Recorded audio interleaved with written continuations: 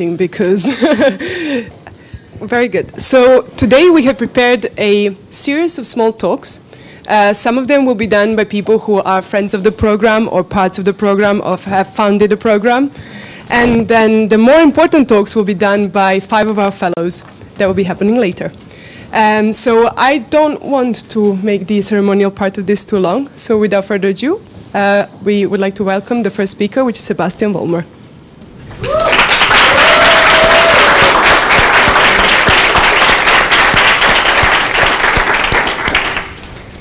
Good afternoon.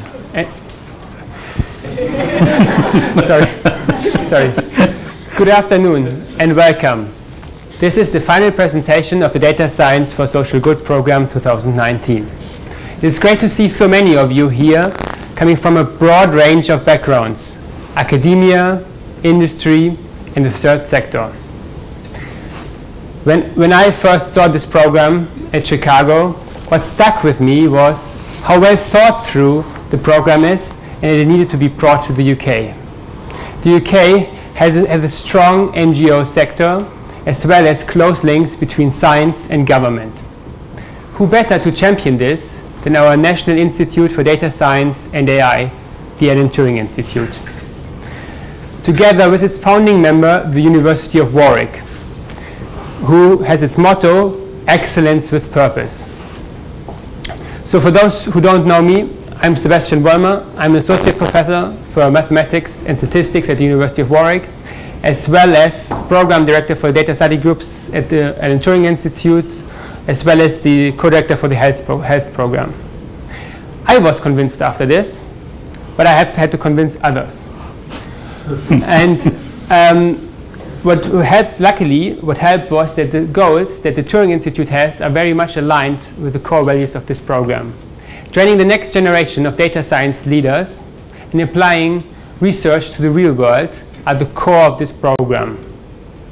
In fact, combining training and delivery in a way that is better, better than doing them separately is really what uh, makes this so, so great.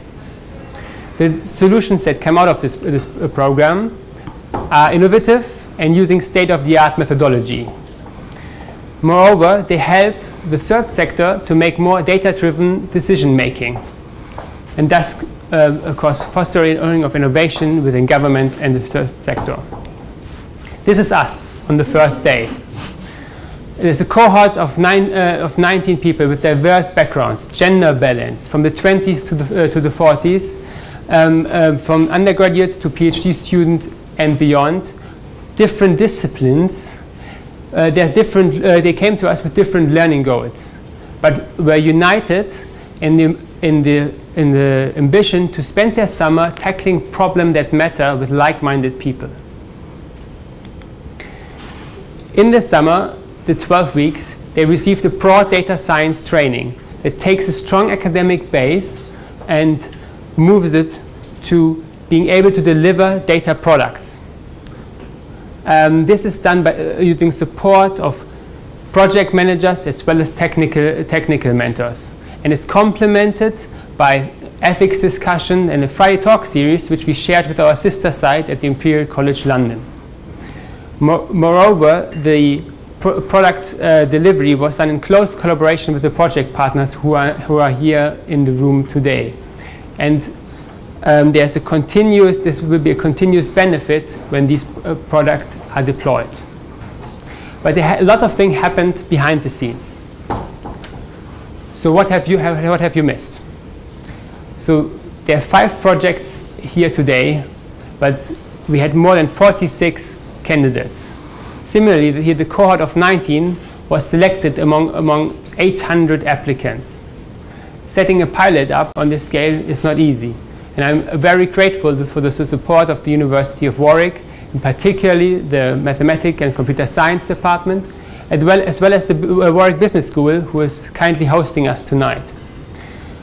Also, the Alan Turing Institute, in particular, the AI program, which focuses on safe and ethical AI, ha has been very supportive, um, as well as our sponsors. We are very grateful for Accenture for uh, um, generous sponsoring and training around bad, bad actors. We are grateful uh, to Microsoft for providing cloud credits, um, without which all this computation couldn't have happened. And also to the ONS Data Science Campus, who have pro provided valuable technical input into this project and are a, a close partner. So with this help, we were, were able to do to, to, to do uh, to do this uh, this pilot. And uh, when you listen to the talks by our fellows, you will see that it actually was a big success. So what's the take-home message? Let's uh, think about our namesake, Alan Turing. He was advanced theoretical as well as practical. This is not about publishing papers. It's about making things happen and not just telling, I told you so. Um, Alan Turing um, faced, the, the, faced the societal issues of his time. It included the war and gruesome, homophobic, discriminatory laws that affected him. He didn't just publish a, a paper. We can, at some point, crack the enigma when we have the next Apple uh, computer coming in 50 years' time. No, he did a vital contribution as part of a team to actually crack the enigma. And this is um, where we do um, our, our, step. We have to have our, the obligation to, do, uh, to not just publish, to deliver data products that make a measurable impact. And, and what's really helpful is the data scientists we've trained for this. They are well-rounded, they are collaborative, they are problem, they are problem-focused, and they're extremely driven. And that you will see in the, in the talks to come. Um, I would give a, sp a special thanks to the uh, DSSG Foundation, to Paul, who is in the room today, as well as, um, as uh, Late, who are part of the, uh, of the Data Science for Social Good Foundation. And special and incredible thanks goes to, to Rayid Ghani, who came up with this program at the University of Chicago and who has been a great mentor to me. Thank you.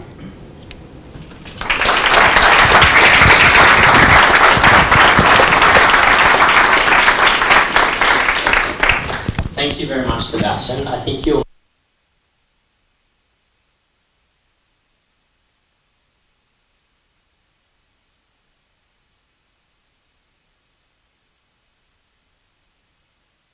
Really, we can't thank him enough for bringing this program to the UK.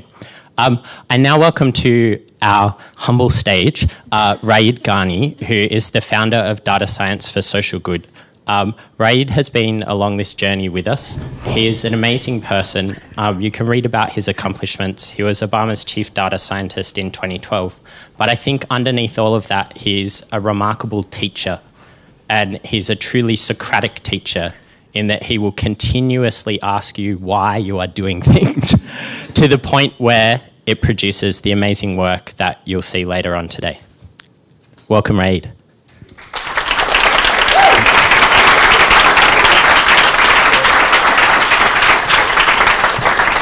Thank you, Josh, and, and thank you, Sebastian. I think that I, I, I, like the way you described it as opposed to nagging, pushy questions about why are you doing this. Uh, it's, it's uh, yeah, that, that's, that's, you know, that's, that's good. Um, one thing, I, I, I, don't have slides. I, Sebastian's passed me this, but so this is the second time I'm doing this. Um, last week we had an event at Imperial College uh, where I did have a few slides, but I decided not to use them. So this time I thought, you know, might as well just not put any slides because then they're there and, and nobody's paying attention. So um, um, welcome everyone. Thank you, thank you so much for coming here and supporting the amazing work. As uh, both Andrea and Josh said, this is all fluff, right? The, the really interesting stuff is going to happen um, after me. It'll start after me, and then it'll continue um, for about half an hour. Where you, will see some amazing presentations about the work they've been doing. So that's the exciting stuff. What Sebastian and I are doing, kind of setting it up to, to tell you about what you're not going to see right? And, and um, what's amazing about this program and, and what's really hard about this program is it really requires, it sounds really easy. You know, you get uh, uh, 20 people, you give them some projects, you mentor them, and they produce amazing presentations and projects and code and, and impact. The reality is much, much, much, much, much uh, more, more difficult, right? It requires a lot of people who both have the skills um, and the, the passion because it requires both. In any one of them is a failure. And, and, and so we've got an amazing team this summer that has really made this possible. So I'm very thankful for, for all of them. Um, and same for the teams that have done this for the last six summers, right? So when we started this program seven summers ago, the, the motivation was we wanted to really, um, th- there were sort of few things happening at that time, right? One was, um, as is true today, in those days it was the data analytics hype, now it's the AI hype. Um, but there was this hype around the use of data, use of evidence-based work, and unfortunately it was only large corporations that were taking advantage of that. And we sort of wanted to figure out why that is, and we kind of came up with three hypotheses. One was, um, for a lot of governments and NGOs, they didn't really know what they could do with, with, with data and machine learning and AI. Um, because when they would read, you know, Wired or BBC, it would only be about ho- how Google uses AI to do something, or if it's government, how's it used for surveillance and scary things as opposed to helping people. Um, so they didn't really have use cases from their peers. Um, but once they figured out what they wanted to do, they didn't have access to people. They didn't have enough people who they could work with. And if they had an idea what they could do and they had people, they didn't really have tools and methodologies because a lot of the off-the-shelf tools were customized, um, again, for large corporations, right? So if a retail, retailer wants to go figure out how to do pricing, they buy a pricing optimization tool and they tune it. If a telco wants to figure out which customers are going to leave, they buy a churn management tool and they tune it. And large consulting companies do a lot of that tuning. If a government agency has the same problem, if a, a, a, a government agency providing social services needs to figure out which of their clients aren't going to come back to them next week so they can do proactive outreach to, to keep them as clients and keep them engaged, they don't go buy a tool and tweak it. They hope somebody helps them.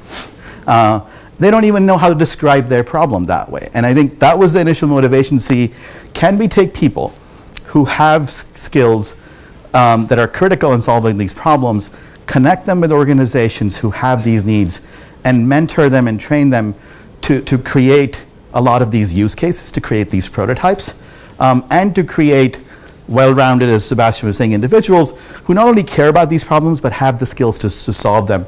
And then, at, while doing that, create methodologies and tools that are all open source that can be reused by project partners, right? And, and what we, what sort of distinction you'll see as they talk about these projects is it's not the relationship between DSSG and the organizations we work with is not that of a client um, delivery model, right? We're not, they're not giving us a problem, we're solving it and giving it them.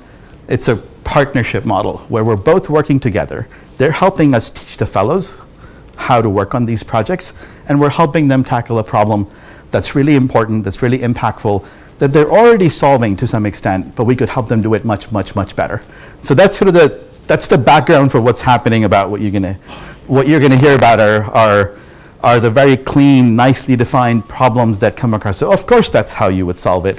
Um, but if you went through the whole process of you know the starting uh, to, to now, that was a very different very different process. Um, so that's what the other thing I want to mention is the, the, the summer is in some ways just because our academic system is structured that way, it's an artificial 12 weeks, right? Things start and things finish in, in these 12 weeks. Um, and so a lot of these projects, or none of these projects actually get finished, right? None of these problems are going to be solved in 12 weeks. Um, and so most of this work we want to try and continue, right? So in the past, we've, we, we take projects that, that start in the summer, we show that they're actually can be tackled by these organizations. And then we try to continue them as much as possible. And so I'm going to give you a couple examples of what that continuation looks like. Of course, that continuation needs you know, resources and support. Um, but if you have that, so, so, so for example, one of the projects we started a few years back in the US, by the way, all projects that we do are really depressing, right? Because public policy is really depressing. You're trying to, to deal with issues that are that, that are depressing, and our role is to sort of try to help people who are trying to solve these problems. So, one of the depressing problems that's it's not a big deal over here. Luckily, um, in the states, it's, it's a much, much, much bigger issue, which is, which is police violence. Right? I'm sure you've all heard about it. So we started a project about three, four years ago as one of the summer projects in DSSG, where we worked with several police departments to help them identify police officers that were at risk of doing things they shouldn't be doing shooting people, injuring people, any sort of violence. Um, and the idea was that if we can help the police departments identify those officers, they can then prioritize them for different types of interventions. It could be training, it could be counseling, it could be a cool down period. For example, we found that two of the big indicators were um, repeated dispatch to domestic abuse cases, um, especially involving children, or repeated dispatches to suicide attempts. And, and in the near term after that, they became high risk of doing things they shouldn't have been doing. And those are sort of stress indicators where you could think about different interventions. So what that started, that started off as we didn't know if that was a problem we could even solve, we could even tackle, which would even make an impact. But we started that in, in, in, in, in 2015 um, and worked with one police department to, to show that it was doable. We then extended that in the next summer with another police department. We then ended up running trials and then implementing that inside those police departments. And then we licensed it to a startup, which was turning that into a product so it could scale and be used by multiple police departments. Um, Another example, very in, in, a different area, which we're kind of in the middle of, is a project we started again a couple of years ago as a summer project, like you're going to hear about. Um, and that was around um, looking at criminal justice, uh, which again, uh, U.S. has a pretty terrible record of, um, where there was a county that wanted to reduce their recidivism rate coming into jail. Um, one of the depressing, one of the many depressing things about the criminal justice system in the states is that it most of the people who are in jails have mental health issues, most of them, 65%, um, have substance abuse disorders, have chronic illnesses. And there's a lot of evidence that shows that those issues um, are, jails are not designed to deal and help with those issues. So what, and they often cause them to go back to jail. And so one of the things we ended up working with this, with, with the county was to help them figure out how do I reduce the recidivism rate? with mental health interventions as, as, their, as an outreach method. So if this person needs mental health outreach, and if I can give that to them before they come back to jail, could that improve their outcomes in life as well as reduce the recidivism rate for their population? And so, as a DSSG project, in year one, we, we did a prototype and we found that yes, it's actually the people who are going to come back are actually identifiable. So the second step was to see, well, great, I can predict who's going to be at risk of coming back to jail. But who cares if I'm just predicting and watching it happen? Right? The idea is to reduce that. So the next step was to see if I intervene on those people with this proactive mental health outreach, does it reduce their risk of coming back to jail? And we just launched a pilot, um, a, a, field trial, it's a randomized field trial that started in June, where every month we're giving this uh, organization a list of people um, who they're going out and doing outreach. And we're measuring the reduction in recidivism rate over the next 12 months um, to show that it actually, and, and we, the hypothesis that it works, but we don't know, right? Um, and, and we'll find out over the next, you know, it's about nine months left, nine months left to figure out whether it has a, a reduction in recidivism rate. So the reason I'm telling you this is kind of think of the projects that, that you're going to hear about as an initial prototype that shows that this is actually feasible because none of these organizations, or most of these organizations, haven't tried doing this before. A lot of them haven't even looked at their data. Um, and what these fellows have already done is, is define the problem. That's, that's often the hardest. Formulate it in a way that now you can use data and machine learning and AI methods to, to tackle them. And then given a prototype um, with, with code documentation, which is perfectly documented. Everything is structured. They'll show it to you right after the, their talks.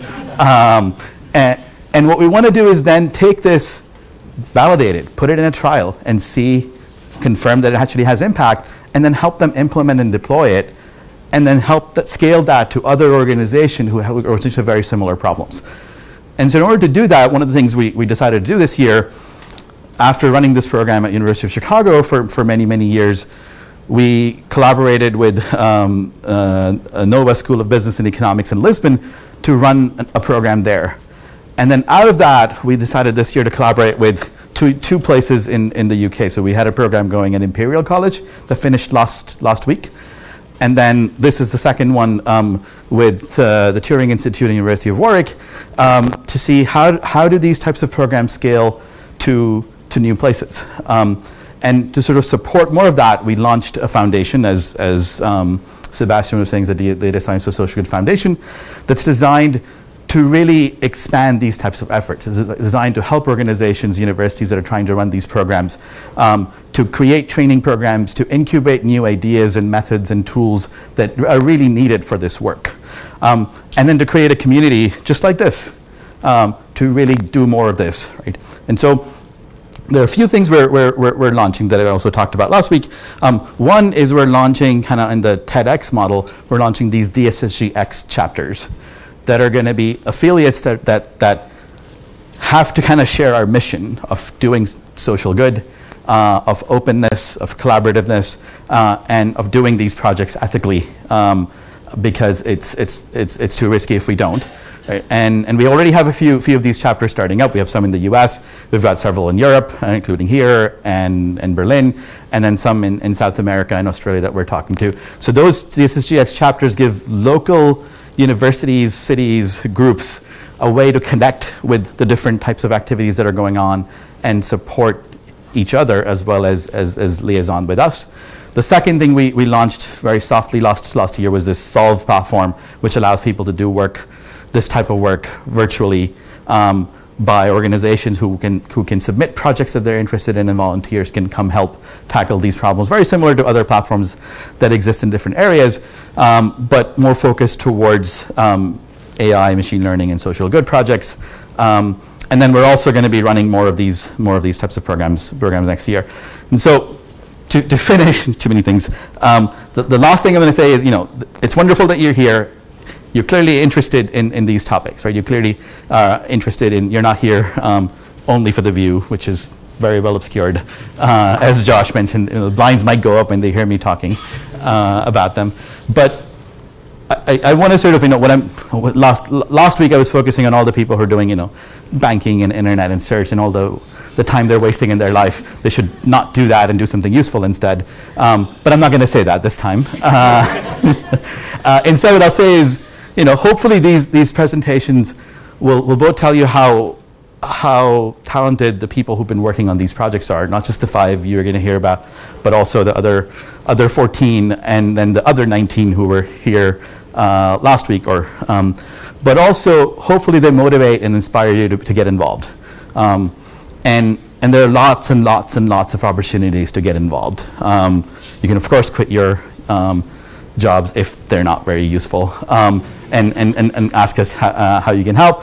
But you can also do it in your, in your free time. You can also take time off. So you can get involved through a DSSGX chapter. You can get involved through being a mentor, project manager in, in, our, in our programs. You can get involved. Um, so come talk to us afterwards if you're interested in, in these types of projects and this type of work because it's extremely rewarding. Um, and I do it because I'm really selfish. I like doing them. I, I, like working with organizations who are actually doing useful things. And if I can help them a little bit, um, selfishly, I feel good about, about doing that. So thank you very much. Thanks for coming here and supporting us. And come talk to any of us afterwards if you're interested in, in being more involved. So thank you.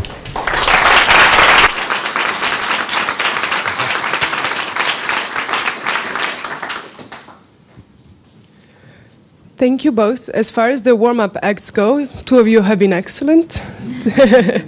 uh, but now for the real deal. Uh, we have five of our 19 who will be talking to you about the projects they have done this summer alongside their fellows, alongside their partners who are here, who have joined us from as far as, as far as far away. Um, and I hope that you take these presentations as a conversation starters for some, as something that will continue afterwards, where you will see the posters, where you get to speak to all of the fellows and anybody else that might be interesting to you in this room. All of you are here for very good reasons because you are interested in, in the work that we have done this summer. And without talking too much, I would like to welcome to the stage Tammy Tsang, who will be talking about the project that she has done.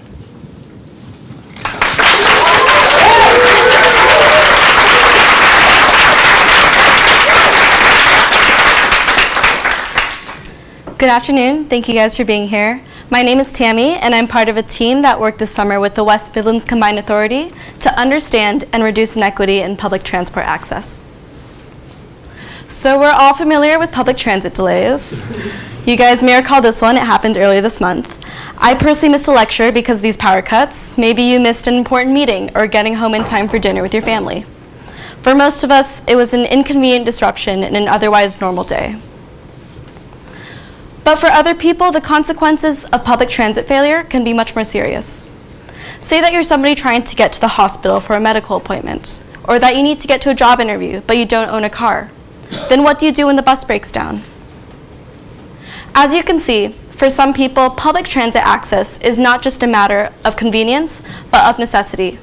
And for the people I just mentioned, the people who don't have a backup option can't just call an Uber when the bus breaks down to get to the hospital or a job interview, these are people who tend to already be disadvantaged. And so public transit access is especially important for them because failures in the system only further marginalize them.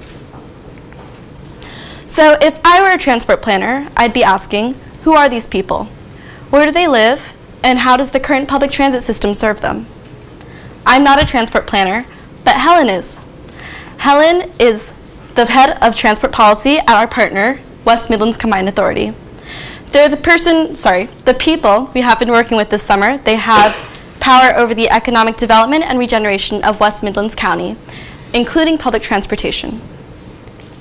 One of the problems that Helen and other policymakers often face is that the people who need policy change the most usually have the quietest voices.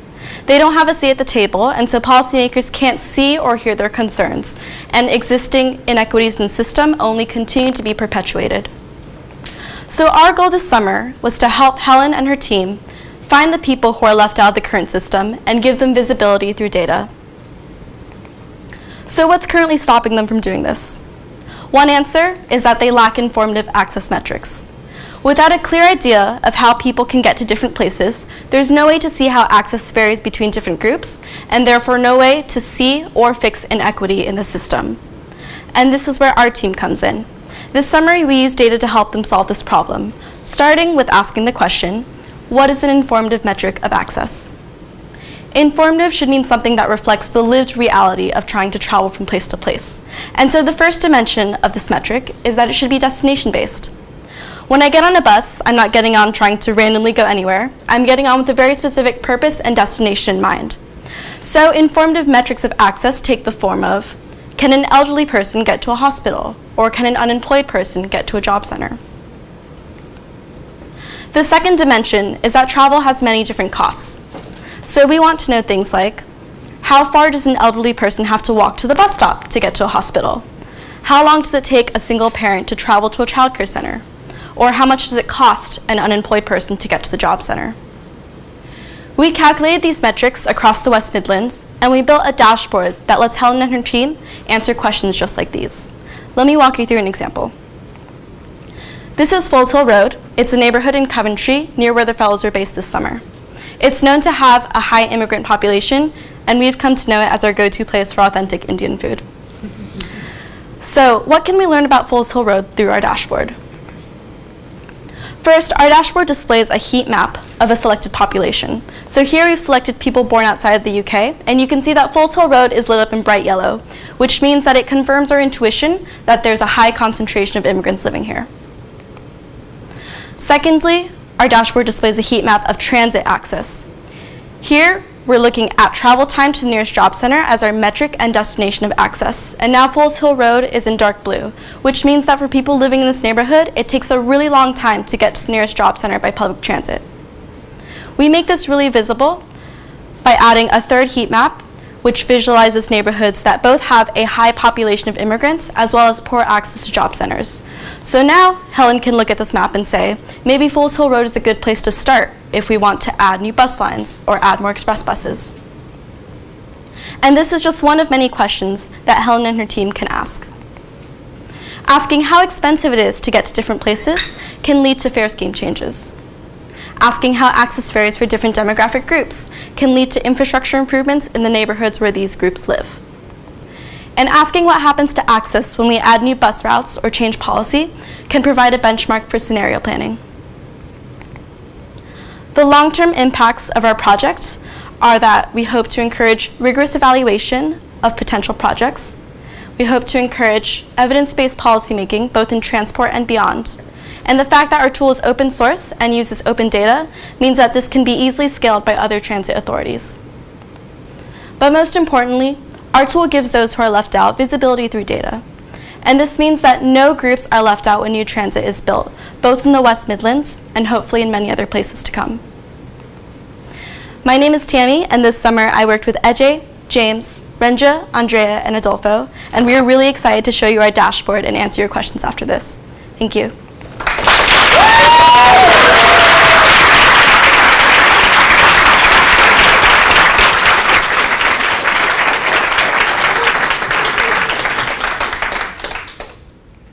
Children in social care are some of the most vulnerable people in society. There are many complex situations which lead to a child ending up in social care or no longer being able to live with their families. Sometimes it's because of the short term illness of a parent or because of a temporary situation in the family, but often the issues that result in a child requiring alternative care are more serious or long term. These are the top four reasons in the UK. It's really important that when we remove children from circumstances such as these, that they receive the care that they deserve. Foster care provides children with a home while they're unable to live with their own families, and this is the most common type of social care. These children, whether it's, for, whether it's overnight, for a couple of weeks, or for a number of years, these children are placed with carers who can provide them with the support and the stability in a safe, loving environment that can make a huge difference to their childhoods. Independent fostering agencies are the bodies, organizations that oversee these homes and ensure that these children are receiving the care that they deserve. Our partner, Ofsted, is the organization that performs the vital function of overseeing this relationship between agencies, homes, and children, and ensuring that those agencies have all the support they need in perform performing their role. Ofsted achieves this by regulating and inspecting these agencies, and currently they inspect these agencies every three years. Due to limited resources, Ofsted inspectors are assigned to a number of agencies, and for these agencies, they receive incoming information through notifications, which are mandatory messages that agencies send Ofsted when an event, event relating to a child occurs, such as a child getting injured, or if an organizational change occurs, such as a new manager being hired within the agency. They also perform these three yearly inspections where they go and physically visit the premises and ensure that the quality is high. However, Ofsted inspectors are receiving tons of information, and sometimes that's distributed across multiple systems, making it hard for any one person to digest all this information. And so, although an inspector could decide to move this, this three year inspection forward in time, often there's so much data coming in that it's hard to know which agencies that might be necessary for. And in the case that this is done, it's because something has already occurred, such as a notification being received that could be considered serious. And the sooner that Ofsted's able to reach these agencies that require additional support and oversight, the easier it is to tackle the issues that they're facing. And so Ofsted approached us, and together we tackled some of these issues by building a, building a system that allows them to sooner find those agencies which have the greatest need for additional support and oversight and thereby we ensure that all children receive the greatest foster care at all times. We were able to build this model because we were using a, over decades worth of various data sources, such as the past inspections, these incoming notifications, annual surveys, changes in management, to learn from these judgments and past experience of Ofsted's inspectors.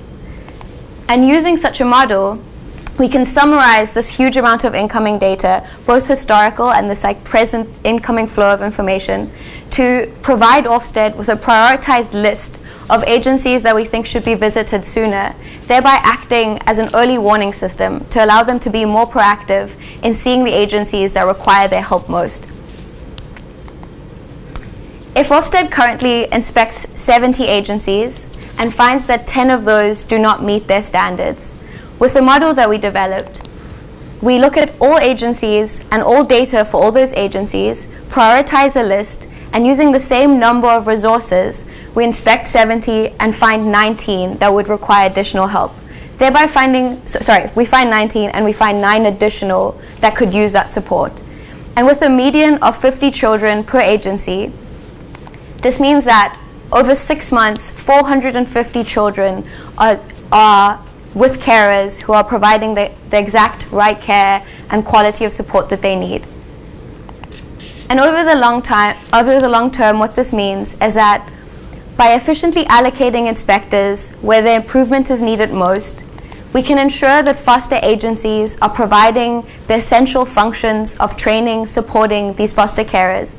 And above all, this means that children have better outcomes and that we can ensure better childcare across England. My name is Annika, and this summer I've had the great pleasure of working with Joby, Viviana, Jared, Josh, Adolfo, and our partners at Ofsted. We're super excited about the work that we've done, and we hope that you come and speak to us afterwards. Thank you.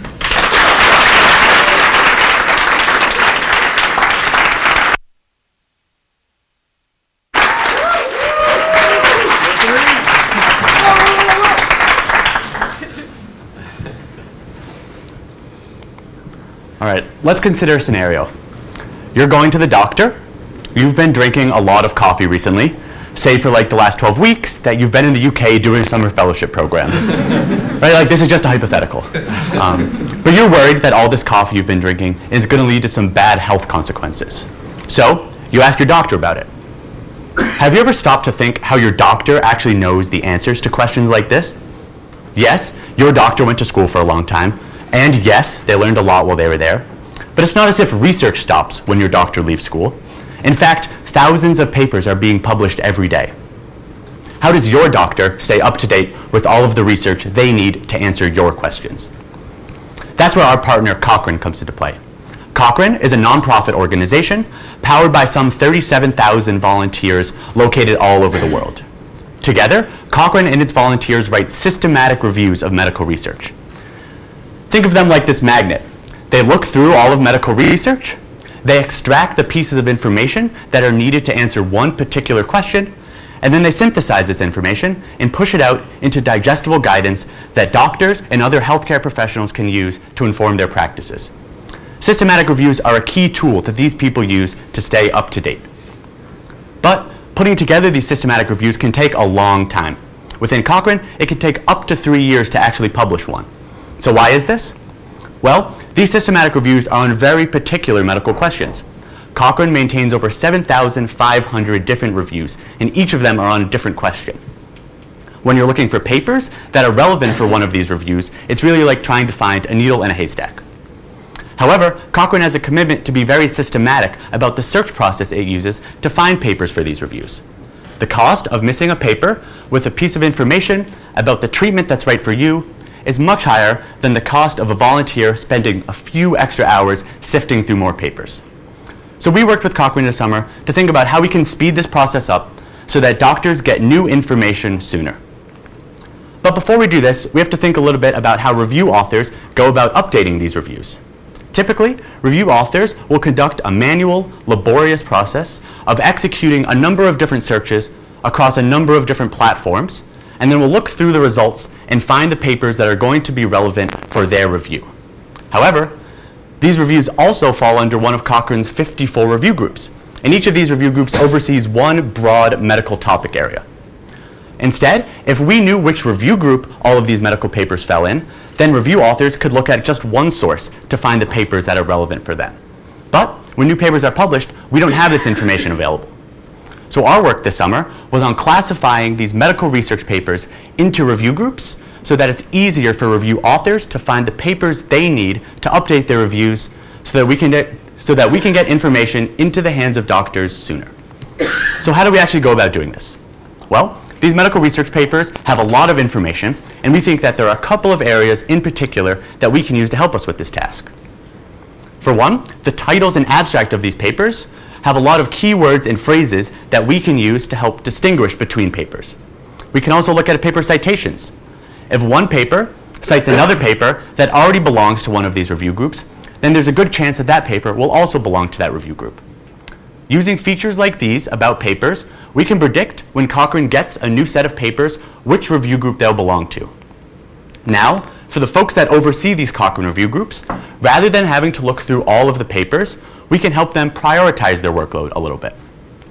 for the average review group, we can say that 1% of papers are definitely going to belong to that review group, so they don't have to spend time looking at those papers.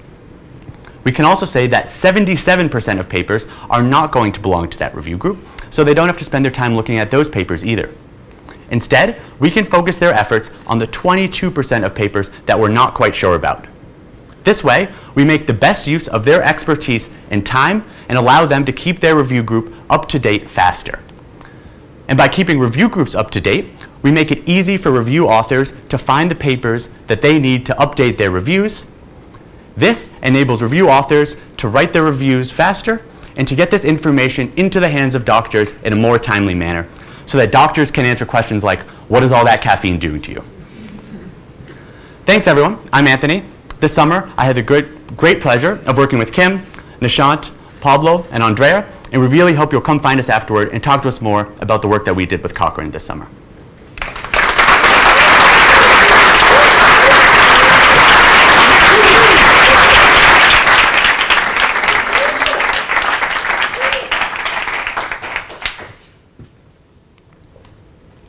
One bed in a hospital, tables and chairs in schools, and highways. What do these things have in common? Public procurement. That's the purchase of goods and services by the government to serve the citizens. But if left unregulated, things can go wrong. And money from taxpayers is lost, but also it can lead to extreme consequences, such as this one. It happened in Paraguay some years ago a school falling down because of the use of substandard materials. Very often, we observe these bad outcomes, but it's already too late. So our partner is the DNCP, that's the national agency in Paraguay that regulates all the procurement processes in the country. And its aim is to avoid these bad outcomes. So the DNCP wants to be more proactive and better regulate all the procurement process at the very early stage so that it leads to less corrupt practices and at the end, they will serve the citizens with better public goods and services. So what is the main challenge that the DNCP faces? They receive 10,000 procurements per year and they have 30 people in their staff to manually review them and come up with a conclusion whether a procurement is irregular or not. They use all their experiences, all their knowledge to come up with this conclusion in a three-day window. But sometimes they will receive complaints pointing out that the procurement was irregular, but this was not caught during the reviewing process. So this is the problem that the DNCP has. They miss some irregularities. They also waste time and effort reviewing procurements that were okay. Plus, they have some bias, as the complaints are more concentrated on the high-value procurements. So what's the solution and how the solution works? It, it contemplates all the DNCP past experiences, plus new features. So we combine all the human learnings with the power of machine learning to come up with a solution. But let's see how this actually works. This is the process they have now. But with the solution we built together with the DNCP, we managed to get a prioritized list of all the procurements based on the likelihood of containing an irregularity. So now the reviewer can focus first on the most risky ones and also he or she has some guidance on where exactly to look up for the anomaly that needs to be corrected. So what data did we use to make this solution? The DNCP has data on 130,000 procurement processes about what's the agency that wants to buy these public goods and services, what's the price of these public goods and services, did they receive a complaint or not at the end, etc. Plus, more than 1 million pages of documents related to the, all of these procurements. And this data contemplates 10 years on procurement history in Paraguay. So how many irregularities do we cut with this solution? Now they review on a first come, first served basis. By doing this, they're able to capture up to 30% of the bad outcomes in advance. But with the new solution, we will be able to prioritize a list based on the likelihood of containing an irregularity. And with this, they can focus on the most risky ones. And we will be able to capture 80% of the bad outcomes in advance. And not, not only that, they can, they can also concentrate on the bias that is in the complaints and be more fair in the reviewing processes. So the solution now reduces the missed irregularities, also reduces the wasted time and effort on reviewing procurements that were okay, plus reduces the bias toward reviewing more carefully only the high-value procurements. What's the impact of this solution? The solution can turn the tables on corruption because, for the first time, it is the regulators that are one step ahead of the process. And now they can, they can prevent corruption before it becomes tragedy. Secondly, it is more fair. Now, the most expensive procurements are more scrutinized than the lower value ones. But with the solution, we make sure that the lessons learned from the high value corruption cases are also used to understand the problems in the smaller procurements. And last but not least is to increase accountability, because now the agencies will be more responsible for better quality procurements. In the case of Paraguay, which GDP is $4 billion, 10% is spent on public procurement. And out of that, 3% is lost due to corruption or irregularities. This means that with our solution, we estimate that we could potentially save for Paraguay $90 million per year. And with this money, Paraguay could build six hospitals, or 600 schools, or 500 kilometers of road. So thank you very much for your attention. My name is Maria. This is the team. Joao, Wen, Ana, Pablo, Josh, and this is our partner, Pablo and Juan from the DNCP. Thank you very much for your attention.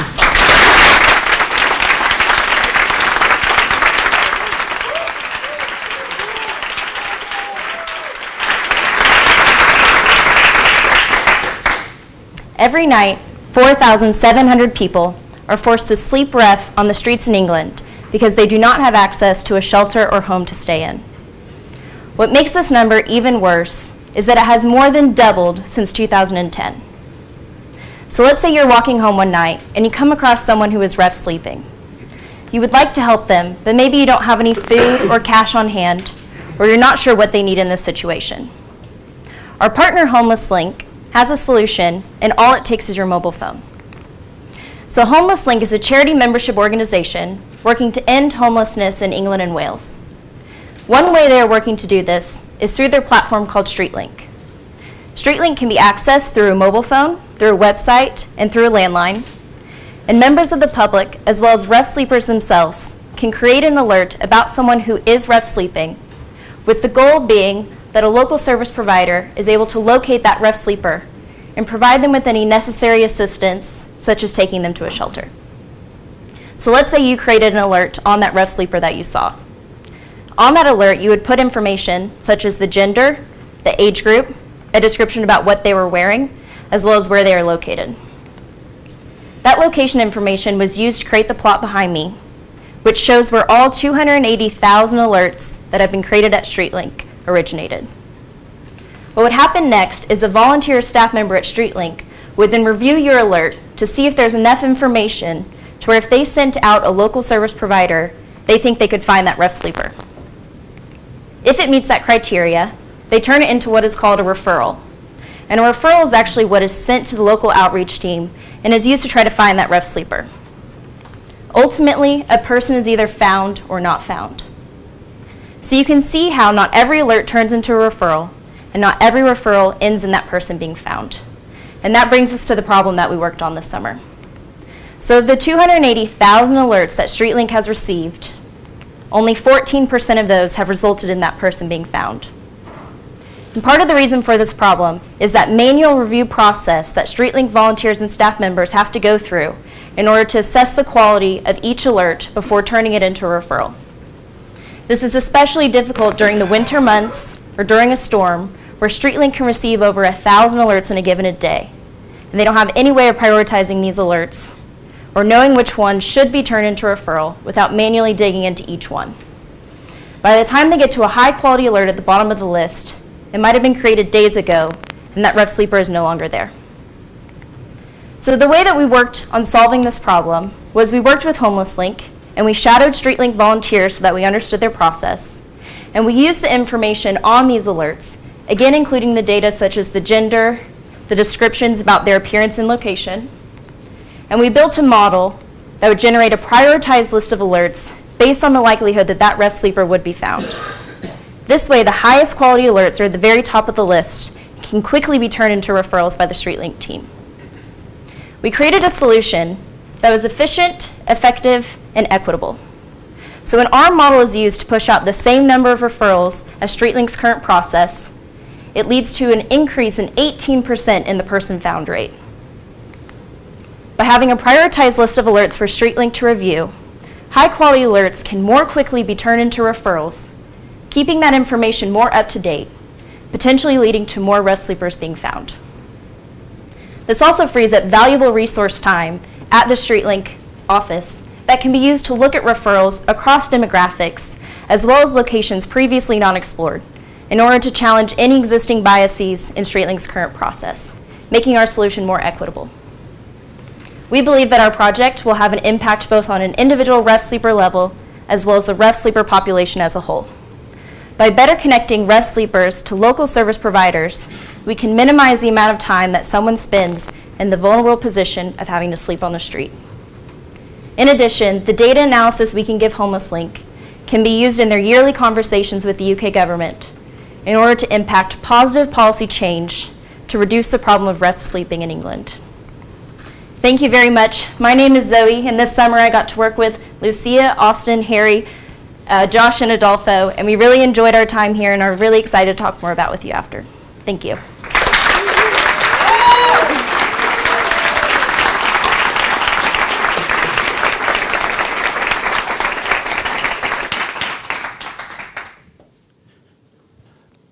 So I'm sure you'll all agree with me that that was an absolutely incredible array of projects. It was, of course, just a taster, so you'll have the chance to talk to everyone in depth about how these solutions work, the kind of trials and tribulations that they've gone through in the last three months to bring these solutions to the partners. Um, and all of that will take place very shortly. Uh, before we do that, we have um, a few remarks from the Institute Director and Chief Executive of the Alan Turing Institute, who's been our host for a large part of this summer.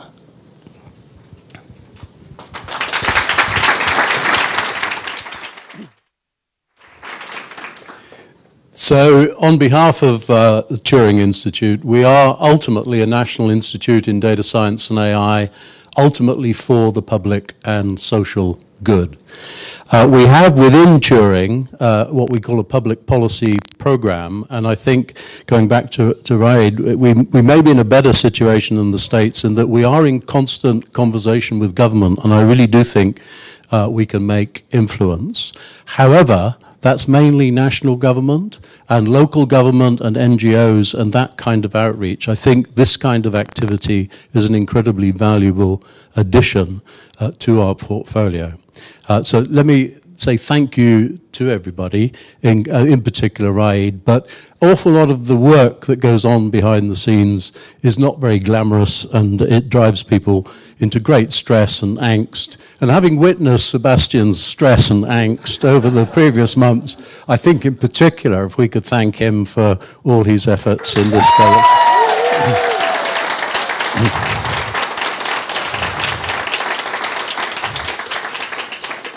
So where do we go from here? Um, I think it's implicit in what I've already said that Turing is absolutely committed to everything we can do in general for public and social good.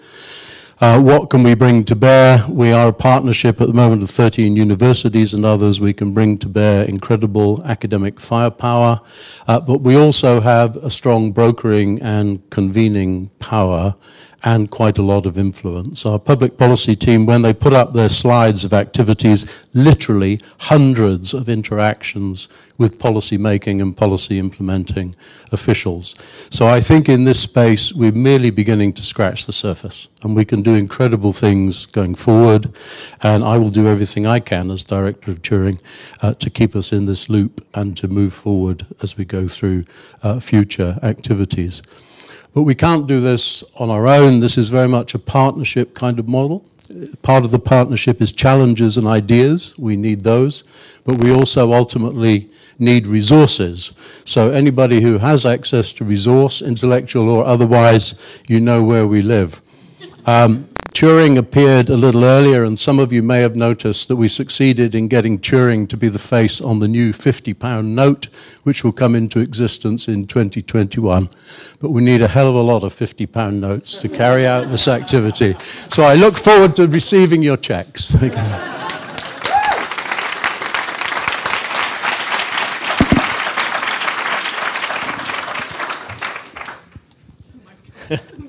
Thank you very much, Adrian. Um, so, a few additional thanks along the line there. So, Turing has been our host, but also the University of Warwick has obviously hosted us and given us premises which we've occupied nearly 24 hours a day. Um, and fueled by uh, Taste of Vietnam, Vietnamese food. Um, we also have had a sister program this summer at Imperial College of London, and we've had Friday seminars with amazing speakers at that university as well. And some of the fellows from that program are in the audience today. So if you want to speak to them, you really should and hear about a whole nother set of incredible projects that have been done over there. Um, of course, we need to thank the Data Science for Social Good Foundation, people like Paul Van Boer and Lenya Mestrino, um, Rayid, of course, who've helped us learn from the experience of previous programs. And finally, the people who you've seen today speak are the spokespersons for teams. So can all of the fellows stand up, please, where you are?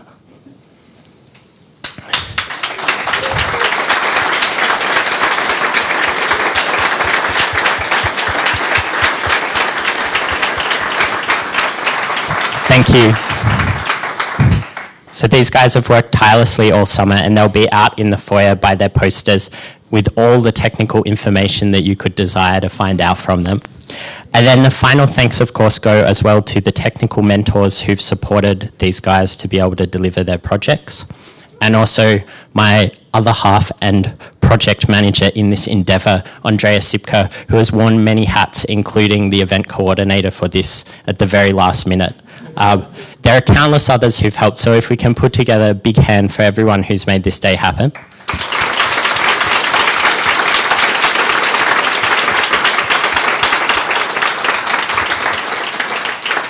And, and just as a final comment to follow on from what Adrian said, We've got all kinds of people in this room from not-for-profit sector, from government, from universities, from companies. If you're from the private sector and you'd like to be involved in this, if you're from any of those other sectors and you'd like to be involved in this, if you see these problems that we've presented today and you think, I know an organization with a problem like that, and you want to be involved in this and you want to do something like the amazing projects that you've seen today, please, please approach any of us and talk to us about how we can make that possible and how we can continue bringing these data science skills to problems that really, really need them.